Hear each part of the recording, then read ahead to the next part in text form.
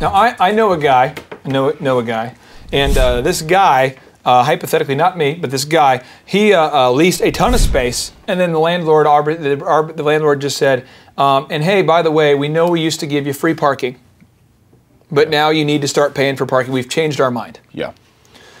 And, and, and the, the, the tenant on paper says, well, this is not what you agreed to. Yeah. But it really comes down to who has the bigger wallet and who can sue who, right? Right. So in that situation, this person had to start paying $7,000 a month for parking that they never agreed to pay because the landlord changed their mind. Right. Uh, another person I know, they used to have a, a restaurant, and the landlord said, We will definitely pay for any repairs related to the roof and related to the building, the ventilation, whatever.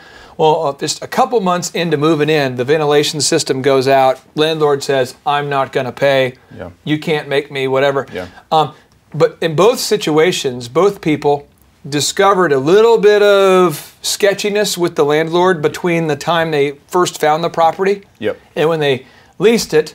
And I, and I know that I've done this in my career before as well.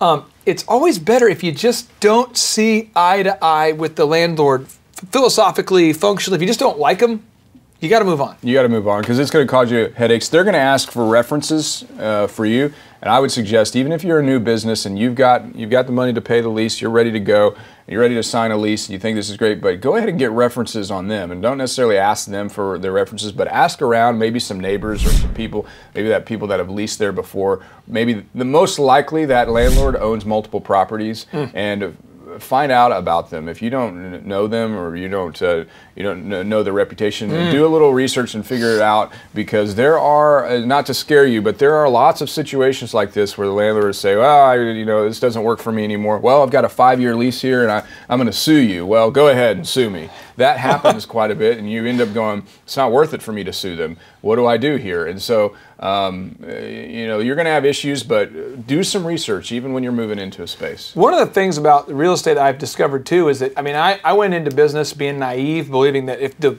if the law says this, then this is what'll happen. I'm telling you, you can get a contract all you want, but if you don't trust that person, it doesn't matter. I'll give you two other examples that have happened. I know that one particular landlord that uh, I had had to work with, you Google the guy's name, I should have done it before, and you find out that he is going to jail for fraud.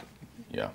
And I, had I had known that, had I had used Google, um, would have discovered that before entering into some kind of engagement. Yeah. And that, I mean, those are things that we should all do. We should do our due diligence on them, like what you said. Yeah, and the property management company as well. If there's a property management company working for uh, the landlord, f- figure out what, are, what, even just if they're a, just because they're a, a, big company doesn't necessarily mean that it's going to work work out well. But just do some research, figure out who are these people that are behind this, who's the property manager, meet with the property manager that you're going to be dealing with on a regular mm. basis. This is happens a lot where the broker helps you out, the landlord they do the deal, and then they pass you off to a property manager who you've never met and you don't know. It's nice to ask up front, hey, who's the property manager on this? On this, owner might say it's just me, and that that can work.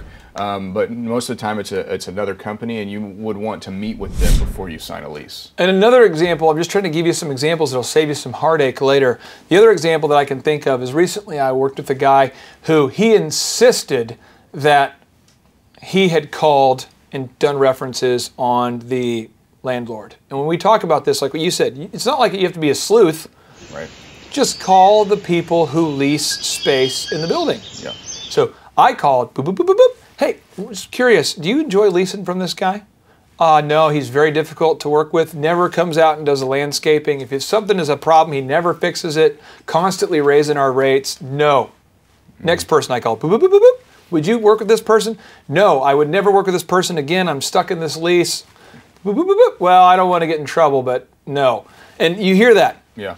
And I go to the guy and I say, Guy, we do not want to be here. And he says, No, those people are just upset.